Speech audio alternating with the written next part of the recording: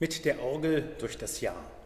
In jedem Monat ein themenbezogenes Orgelkonzert. Das ist der Plan für dieses Jahr der Orgel. Das dritte Konzert dieser Art steht an und kann leider wieder nur virtuell stattfinden. Gern würde ich hier an dieser Stelle Andreas Marti aus Könitz in der Schweiz hier in unserer Pfarrkirche in Weißensee begrüßen. Das geht nicht, aber ich kann ihn von hier aus begrüßen. Und ich begrüße Sie sehr herzlich und lade Sie ein, mit mir zusammen eine virtuelle Reise zu machen nach Könitz in der Schweiz.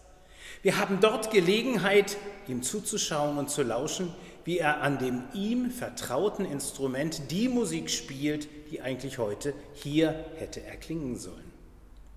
Orgelmusik zum Thema Passion.